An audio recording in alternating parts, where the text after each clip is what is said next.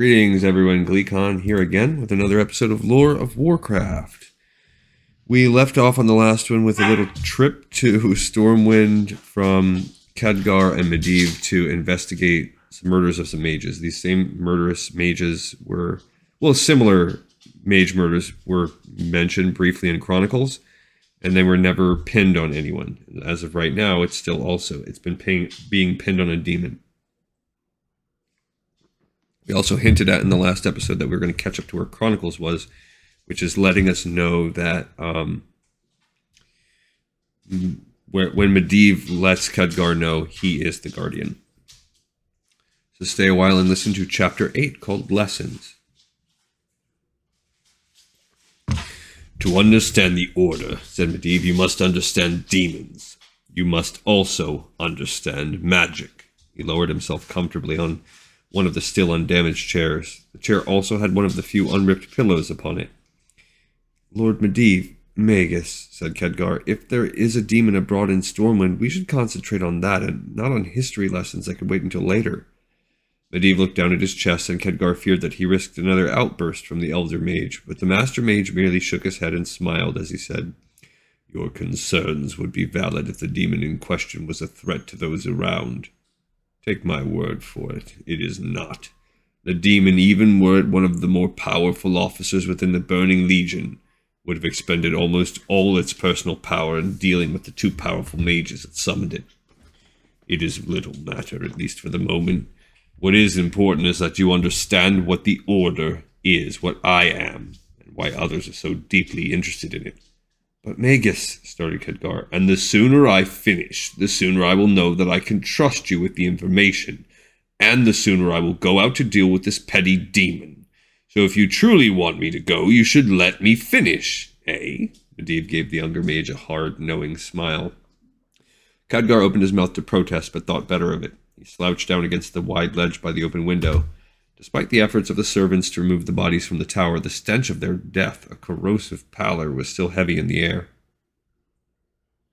So, what is magic? asked Medivh in the manner of a school mage. An ambient, an ambient field of energy that pervades the world, said Khadgar almost without thinking. It was catechism, a simple answer for a simple question. It is stronger in some locations than others, but it is ever present. Yes, it is, said the older mage, at least now. But imagine a time when it was not. Magic is universal, said Khadgar, knowing as soon as he said it that it was soon to prove not to be, like air or water. Yes, like water, said Medivh. Now imagine a time at the very start of things when all the water in the world was in one location. All the rain and rivers and seas and streams, all the showers and creeks and tears, all in one location, in one well. Khadgar nodded slowly. Now, instead of water, it is magic we're talking about, said Khadgar. A well of magic, the source, an opening into other dimensions, a shimmering doorway into the lands beyond the great dark, beyond the walls of the world. The first peoples to cast spells encamped around the well and distilled its raw power into magic. They were called the Kaldorei then. What they are called now, I cannot say. Medivh looked at Khadgar, but the younger mage kept his silence now. They're called night elves, bro. But I guess they don't. You wouldn't know that. He wouldn't know that. Those hadn't appeared. I think they they definitely appear in Warcraft three. Um, but this, I think, this seems this book seems like this is before Warcraft three even. That was also that description of the original peoples is highlighted. Medivh resumed. The Kaldorei grew powerful from their use of magic, but they did not understand its nature. They did not understand that there were other powerful forces in the great dark beyond, moving in the space between worlds that hungered after magic and were very interested in any who tamed it and refined it to their own ends. These malign forces were abomination and juggernauts and nightmares from hundreds of worlds, but we call them simply demons. They sought to invade any world where magic was mastered and grown and destroy it, keeping the energies for themselves alone. And the greatest of them, the master of the Burning Legion, was a demon named Sargeras. Khadgar thought of the vision with Aegwynn and suppressed a shudder. So this reflects two things. One, you could okay, you could argue this reflects the, the lack of information, the lack of true information that even someone like Medivh has. But it also reflects the growing mythology. Sargeras is not a demon but a titan, and the reason why they want to come to Azeroth is not because of its magic, but because it harbors a titan soul. So those things are important. But it's that's just interesting to note, and I don't fault this as much as I fault some of the other books that were that had more time to be developed.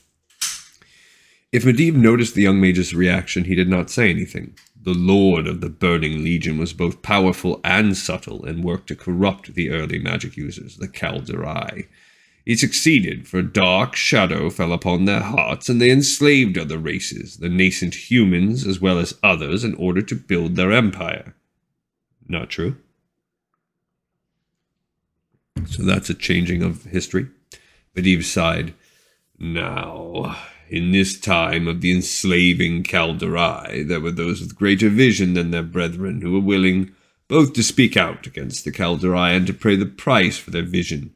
These brave individuals, both Kaldorei and other races as well, saw the hearts of the ruling Kaldorei grow dark, cold and dark, and the demonic power grow. And that's true because they did ally with other races, the Earthen and the Tauren the dragons. So it came to pass that the Kaldorei were corrupted by Sargeras, such that they nearly damned this world at its birth. The Kaldorei ignored those who spoke out against them and opened the way for the most powerful of demons, Sargeras and his lot, to invade. Only by the heroic actions of a few was the shimmering doorway through the great dark shut, exiling Sargeras and his followers. But the victory was at great cost. The well of eternity exploded when the doorway was shut down, and the resulting explosion ripped the heart out of this world, destroying the Kaldorei lands and the very continent it rested upon. Those that shut the door were never seen again by living eyes. Okay. Kalimdor, said Khadgar, interrupting despite himself. Medivh looked at him, and Khadgar continued. It's an old legend in Lordaeron. It's an old legend in Lordaeron. Once there was an evil race who meddled foolishly with great power. As punishment for their sins, their lands were broken and set beneath the waves. It was called the Sundering of the World. Their lands were called Kalimdor. Kalimdor, repeated Medivh, though you have the child's version of the tale, the bit we tell would-be mages to stress the dangers of what they are playing with. The Kaldorei were foolish and destroyed themselves and nearly our world, and when the Well of Eternity exploded, the magical energies within scattered to the four corners of the earth in an eternal rain of magic. And that's why magic is universal. It's the power of the well's death. Okay. Nothing is said about that anywhere in Chronicles or anywhere. Um, not in the other books. Um, and there were ley lines throughout. So again, this seems to be something that we've retconned, gone back and no, magic exists all over the place. It is universal. The well was a, was a, an ultimate concentration of that. Um, but yeah, that's again something that they've kind of gone back and changed. Magus said Khadgar, that was thousands of years ago. Ten thousand years, said Medivh give or take a score. And I get maybe that's where we get our date. How is it that the legend comes down to us? Dalaran itself has histories only going back 20 centuries, and the earliest of those are wrapped in legends. Medivh nodded and took up the story again. Many were lost in the sinking of Kalimdor, but some survived, and took their knowledge with them. Some of these surviving Kaldorei would found the Order of Tirisfal. Whether Tirisfal was a person, or a place, or a thing, or a concept, even I cannot say. They took the knowledge of what had happened and swore to keep it from ever happening again, and that is the bedrock of the Order. Uh, that's not true either. I mean, maybe, actually, maybe. The group of Kaldorei that were sent over, the, the that became the High Elves They were. Actually, they were. They were part of the founding of that order. That is true. Because they didn't know what to do to fight it. Okay, okay. Actually, that is. That's true. Now the race of humans survived those dark days as well and thrived, and soon with magical energy worked into the fabric of the world itself, they too were scratching at the doors of reality, beginning to summon creatures from the great dark, prying at the shut gates of Sargeras' prison. That was when those Kaldorei who had survived and changed themselves came forward with the story of how their ancestors had almost destroyed the world. The first human mages considered what the surviving Kaldorei had said and realized that even were they to lay down their wands and grimoires and ciphers, that others would seek innocently or less so ways to allow the demons access once more to our green lands. And so they continued the order now as a secret society among the most powerful of their mages. This order of Tirisfal would choose one of its number, who would serve as the guardian of the Tirisfallen, this guardian would be given the greatest of powers and would be the gatekeeper of reality.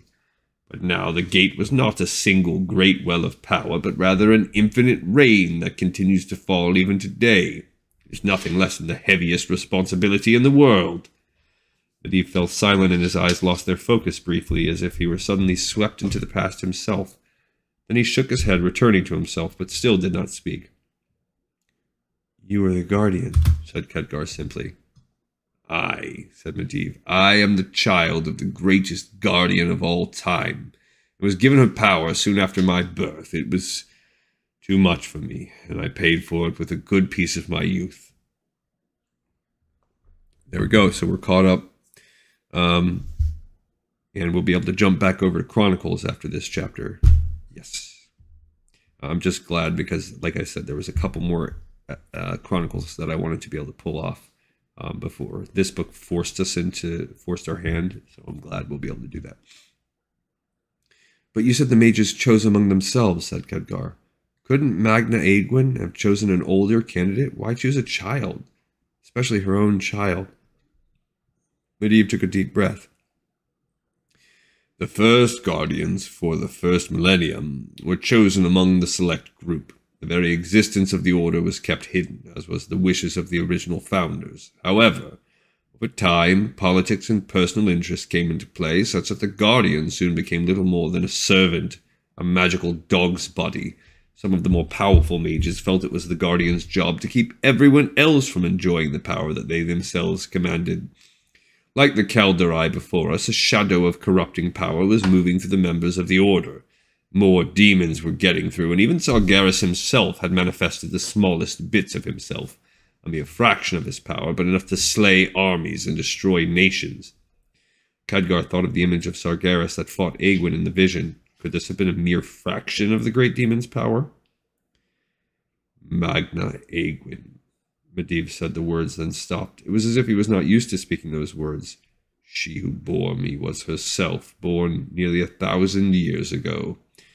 She was greatly gifted and chosen by other members of the order to become the guardian. I believe the greyest of the greybeards of that time thought they could control her, and in doing so continued to use the guardian as a pawn of their own political games. She surprised them, and at this Medivh smiled.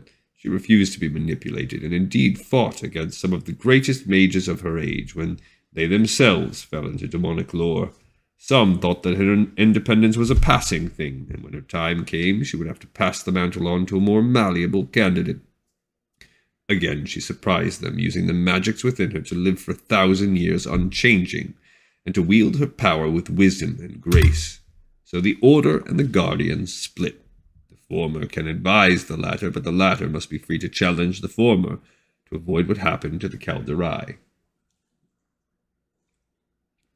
For a thousand years she fought the Great Dark, even challenging the physical aspect of Sargeras himself, who had instilled himself into this plane and sought to destroy the mythical dragons, adding their power to his own. Magna Aegwynn met him and defeated him, locking his body away in a place where none knows, keeping him forever from the great dark that is his power. That's in that epic poem, The Song of Aegwynn, the one Guzba wants she could not do it forever, and there must always be a guardian. And then, and again Medivh's voice faltered, She had one more trick up her sleeve. Powerful she was, but she was still of mortal flesh. She was expected to pass on her power. Instead, she fathered an heir on a conjurer from the court of Azeroth itself, and she chose that child as her successor. She threatened the order, saying that if her choice was not honored, she would not step down and would rather take the power of the Guardian into death and allow another to have it. They felt they might be able to manipulate the child, me, better, and so they allowed it. The power was too much, said Medivh. When I was a young man, younger than you, it awoke within me, and I slept for over twenty years. Magna Aegwynn had so much of a life, and I seemed to have lost most of it. His voice faltered again. Magna Aegwynn, my mother, he began, but he found he had nothing more to say. Khadgar just sat there for a moment. Then Medivh rose, shook back his mane, and said, And while I slept, evil crept back into the world. There are more demons and more of these orcs as well, and now members of my own order are once more playing the dark road. Yes, Huglar and Huggerin were members of the order, as have been others, like ancient Erexus among the Kirin Tor. Yes, something similar happened to him, and while they covered it up neatly, you probably heard something about it. They feared my mother's power, and they fear me, and I have to keep their fear from destroying them. Such is the charge laid upon the guardian of Tirisfal. The older man launched himself to his feet. I must be off, he said. Off? said Khadgar, suddenly surprised by the energy within the lengthy frame. As you have so rightly noted, there is a demon abroad, said Medivh with a renewed smile. Sound the hunter's horn. I must find it before it regains its wits and strength and kills others. Khadgar pulled himself upright. Where do we start? Medivh pulled himself up short and turned, looking slightly sheepishly at the younger man. Ah, we are not starting anywhere. I am going to go. You're talented, but you're not up to demons quite yet. This battle is my own, young apprentice. Trust. Magus, I'm sure I can. Medivh raised a hand to silence him. I also need you here to keep your own ears open, said Medivh in a quieter voice. I have no doubt that old Lothar has spent the past ten minutes with his ear to the door, such that there will be a keyhole-shaped impression on the side of his face. Medivh grinned. He knows a lot, but not all. That's why I had to tell you, so he doesn't pry too much out of you. I need someone to guard the Guardian, as it were.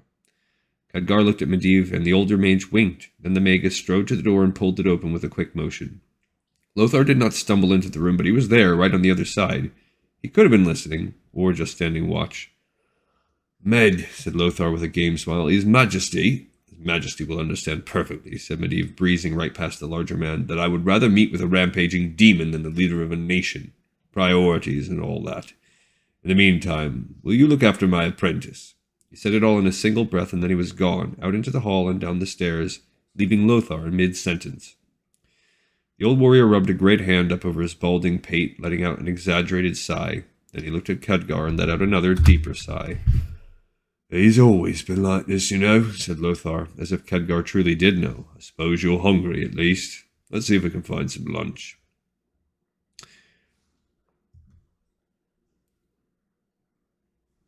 Lunch consisted of a cold game fowl looted from the cold room and tucked under Lothar's arm, and two mugs of ale the size of ewers, one in each meaty hand. The king's champion was surprisingly at ease despite the situation, and guided Khadgar out to a high balcony overlooking the city. My lord, said Khadgar, despite the Magus's request, I realize you have other work. Aye, said Lothar, most of it was taken care of while you were talking to Medivh. His Majesty King Llane is in his quarters, as are most of the courtiers under guard, in case that demon decided to hide in the castle. Also, I have agents already spreading through the city with orders to both report anything suspicious, but not to make themselves suspicious. The last thing we need is a demon panic. I've cast all my lines, and now there is nothing to do but wait. He looked at the younger man, and my lieutenants know that I'll be on this balcony, as I always have a late lunch anyway. Khadgar considered Lothar's words and thought that the king's champion was very much like Medivh, not only pl- planning ahead a few moves, but delighting in telling others how he's planned things out. The apprentice picked at the sliced breast meat while Lothar tore into a drumstick. The pair ate in silence for a long time. The fowl was anything but foul, for it was treated with a concoction of rosemary, bacon, and sheep's butter placed beneath the skin before roasting. Even cold, it fell apart in the mouth. Sounds good. The ale, for its part, was pungent, rich with bottomland hops.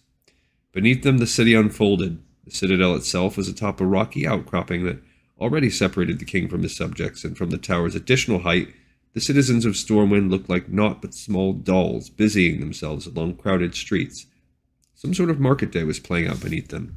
Brightly tarped storefronts occupied with vendors bellowing very quietly seemed to Khadgar at this altitude the virtues of their wares. Oops. For a moment, Khadgar forgot where he was and what he had seen and why he was there in the first place. It was a beautiful city. Only Lothar's deep grumble brought him back to this world. So, said the king's champion in his way of introspection, how is he? Khadgar thought for a moment and replied, He's in good health. You've seen that yourself, my lord. Bah, spat Lothar, and for a moment Khadgar thought the knight was choking on a large piece of meat. I can see, and I know Med can dance and bluff his way past just about anyone. What I mean to say is, how is he? Khadgar looked out at the city again, wondering if he had Medivh's talent to bluster his way past this older man, to deny answers without causing affront. No, he decided. Medivh played on loyalties and friendships older than he was. He had to find another way to respond. He let out a sigh and said, Demanding.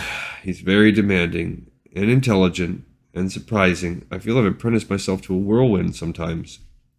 He looked at Lothar, his eyebrows raised, hoping that this would be sufficient. Lothar, Lothar nodded. A whirlwind, aye.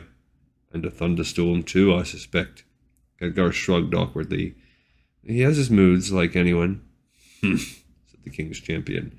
An ostler has a mood, and he kicks the dog. A mage has a mood, has moods, and town town disappears. No offence meant. None taken, my lord, said Khadgar, thinking of the dead mages in the tower room. You ask how he is. He's all these things. Hmm, said Lothar again. He's a very powerful person. Khadgar thought you worry about him like the other wizards do. Instead, he said he speaks well of you. What did he say? said Lothar more quickly than perhaps he meant to. Only, Khadgar chose his words carefully, that you served him well when he was ill. True enough, grunted the champion, starting into the other drumstick. And that you're extremely observant, added Khadgar, feeling that this was a sufficient distillation of Medivh's opinion of the warrior. Glad to know he notices, said Lothar with a full mouth. There was a pause between the two of them as Lothar chewed and swallowed. Has he mentioned the Guardian? We have spoken, said Khadgar, feeling that he was on a very narrow verbal cliff. Medivh did not tell him how much Lothar knew. He settled for silence as the best answer and let the statement hang in the air for a moment. And it is not the apprentice's place to discuss the doings of the master. Ay, said Lothar with a smile that seemed just a jot too forced. Come now, you're from Dalaran. That nest of mage vipers has more secrets per square foot than any other place on the continent. No offence again. Khadgar shrugged off the comment. Diplomatically, he stated, I notice that there is less obvious rivalry between mages here than in Lordaeron. And you mean to tell me that your teachers didn't send you out with a laundry list of things to pry out of the High Magus? Lothar's grin deepened and looked almost sympathetic. Khadgar felt some heat in his face. The older warrior was firing bow shots increasingly close to the gold. Any requests from the Violet Citadel are under Medivh's consideration. He has been very accommodating. Hmm, snorted Lothar. Must mean they aren't asking for the right stuff. I know the mages around here, including Huglar and Huggerin. The saints rest their souls. We're always pestering him for this and that and complaining to His Majesty and myself when they didn't get it. Like we had any control over him. I don't think anyone does, said Khadgar, drowning any additional comment he might have made in his ale. Not even his mother, I understand, said Lothar. It was a small comment, but it slipped in like a dagger thrust. Khadgar found himself wanting to ask Lothar more about her, but contained himself. I fear I'm far too young to know, he said. I've read some on her. She seems like a powerful mage. And that power is in him now, said Lothar. She whelped, she whelped him from a conjurer of this very court and weaned him on pure mage stuff and poured her power into him. Yes, I know all about it. Pieced it together after he went into that coma. Too much, too young. Even now I'm concerned. You think he's too powerful, said Khadgar, and Lothar froze him with a sudden penetrating stare. The young mage kicked himself for speaking his mind, practically accusing his host. Lothar let out a smile and shook his head. On the contrary, lad, I worry that he's not powerful enough. There are horrible things afoot in the kingdoms. Those orc things you saw a month ago, they're multiplying like rabbits after a rain. and trolls nearly extinct have been seen more often, and Medivh is out hunting a demon even as we speak. Bad times are coming, and I hope, no, I pray that he's up to it. We went for twenty some years without a guardian when he was in a coma. I don't want to go another twenty, particularly at a time like this. Khadgar felt embarrassed now. So when you ask how is he, you mean, how is he? finished Lothar. I don't want him weakening at a time like this. Orcs, trolls, demons, and then there's... Lothar let his voice trail off and looked at Khadgar, then said, You know of the Guardian by now, I can assume. You can assume, said Khadgar. And the Order, too, said Lothar, then he smiled. No need to say anything, young man. Your eyes gave yourself away. Never play cards with me, eh? Khadgar felt on the very precipice itself, but Eve warned him not to let much too much loose to the champion, but Lothar seemed to know as much as Khadgar knew, more even. Lothar spoke in a calm voice. We would not send for men for a simple matter of a magical misfire, nor even two common conjurers being caught in their own spells. Huglar and Hugrin were two of our best, two of our most powerful. There was another even more powerful, but she met an accident two months back. All three, I believe, were members of your order. Khadgar felt a chill creep up his back. He managed to say, I don't think I'm comfortable speaking of this. Then don't, said Lothar, his brows furrowed like the foothills of some ancient mountain chain. Three powerful mages, the most powerful in Azeroth. Not a patch on Medivh's mother, mind you, but great and powerful wizards nonetheless. All dead. I can buy one mage being unlucky or being caught unawares, but three of them. Warrior doesn't believe in that much coincidence. And there's more, continued the King's champion. I have my own ways of finding out things. Caravan traders, mercenaries, and venturers that come into the city often find a receptive ear with old Lothar. Word comes from Ironforge and Alterac, and even from Lordaeron itself. There's been a plague of such mishaps, one after another. I think someone, or worse yet, something is hunting the great mages of the secret order, both here and in Dalaran itself, I don't doubt. Khadgar realized that the older man was studying his face as he spoke, and with a start he realized that this fit into the rumors he heard before leaving the Violet Citadel. Ancient mages suddenly gone, and the upper echelons quietly hushing it up. The great secret among the Kirin Tor, part of a greater problem. Despite himself, Khadgar looked away out over the city. Yes, Dalaran too, it seems, said Lothar. Not much news comes from there, but I'm willing to bet that the news is similar, eh? You think that the Lord Magus is in danger? asked Khadgar. The desire to not tell Lothar anything was eroding by the obvious concern of the older warrior. I think Medivh is danger incarnate, said Lothar, and I admire anyone willing to be under the same roof with him. It sounded like a joke, but the king's champion did not smile. But yes, something is out there, and it may be tied with the demons or the orcs or something much worse. I would hate to lose a most powerful weapon at a time like this. Khadgar looked at Lothar, trying to read the furrows of the older man's face. Was this older warrior worried about his friend or worried about the loss of a magical protection? Was his concern about Medivh's safety out in the middle of the wilderness, or that something was stalking them all? The older man's face seemed like a mask, and his deep sea blue eyes gave no clues as to what Lothar was truly thinking. Khadgar had expected a simple swordsman, a knight devoted to duty, but the king's champion was more than this. He was pushing Khadgar, looking for weakness, looking for information, but to what end? I need someone to guard the Guardian, Medivh had said. He is fine, said Khadgar. You were worried about him, and I share your concerns, but he is doing well, and I doubt anything or anyone can truly hurt him. Lothar's unfathomable eyes seemed to deflate for a moment, but only a flickering moment. He was going to say something else to renew the prying, friendly inquisition, but a commotion within the tower drew both their attention away from the discussion away from the now empty mugs and the bare bones of the fowl. Medivh swaggered into view, followed by a crew of servants and guardsmen.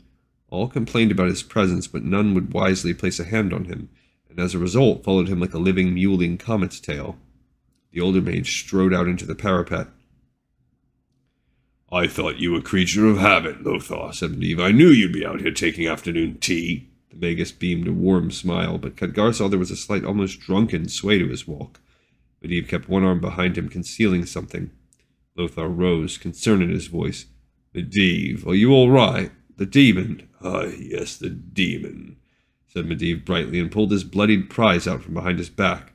He lobbed it at Lothar and Khadgar in a lazy underhanded swing. The red orb spun as it flew, spilling the last bits of blood and brains out before landing at Lothar's feet. It was a demon's skull. The flesh still adhered to it with a mighty divot like that of a great axe driven into the center right between the ram-like horns. The demon's expression, Khadgar thought, was one of both awe and indignation. You might want to have that stuffed, said Medivh, pulling himself seriously to his full height. Had to burn the rest of it, of course. No telling what the inexperienced might do with a draught of demon's blood. Saw that Medivh's face was more pinched than it had been earlier, and that the lines around his eyes were more prominent. Lothar might have caught it as well, and remarked, You caught it quite quickly. Child's play, said Medivh. One, once young Trust here pointed out how the demon fled the castle it was a simple matter to track it from the tower's base to a small escarpment. It was over before I knew it, before it knew it either. The Magus swayed slightly. Come then, said Lothar with a warm smile. We should tell the king. There should be revelling in your honor for this, Med. Medivh held up a hand. You may revel without us, I am afraid. We should get back. Miles to go before we rest. Isn't that right, apprentice? And I guess um, Robert Frost is uh, influences even Azeroth. Lothar looked at Khadgar again with a questioning, imploring look. Medivh looked calm but worn. He also looked expectant for Khadgar to support him this time. The young mage coughed. of course. Uh, we left an experiment on the boil. Indeed, said Medivh, picking up the lie immediately. In our rush to get here, I had quite forgotten.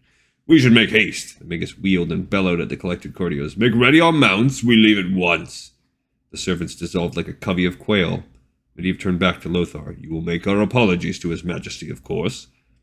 Lothar looked at Medivh, then at Khadgar, then at Medivh again. At last he sighed and said, Of course. Let me lead you to the tower, at least. Lead on, said Medivh. Don't forget to take your skull. I'd keep it myself, but I have one like it already. Lothar hefted the ram-headed skull in one hand and brushed past Medivh leading into the tower itself. As he passed, the Magus seemed to deflate, the air going out of him. He looked more tired than before, grayer than he had been moments earlier. He let out a heavy sigh and headed for the door himself. Khadgar chased after him and caught him by the elbow. It was light touch, but the elder mage suddenly pulled himself upright, flinching as if reacting to a blow. He turned to Khadgar, and his eyes seemed to mist over for a moment as he looked at the younger mage. Magus, said Khadgar. What is it now? said Medivh in a hissing whisper. Khadgar thought about what to say, how to risk the mage's Magus's censure. Not well, he said simply. It was the right thing to say. But Eve gave an aged nod and said, I've been better. Lothar probably knows as well, but he won't challenge me on it. But I'd rather be home than here. He paused for a moment, and his lips formed a stiff line beneath his beard. I was sick for a long time here. Don't want to repeat the experience. Khadgar didn't say anything, but only nodded. Lothar now stood at the door waiting. You're going to have to lead the way back to Karazhan, said Medivh to Khadgar, loud enough for all nearby to hear. The city life takes too much out of a man, and I could use a nap about now. All right, so they're definitely setting up, if we're looking at like mystery tropes, they're setting up a murder mystery here where Medivh is the obvious suspect. But again, it could be anything. But okay, that aside, we've caught up to where the Chronicle said that Khadgar is now his confidant. He knows that Medivh is the um, guardian.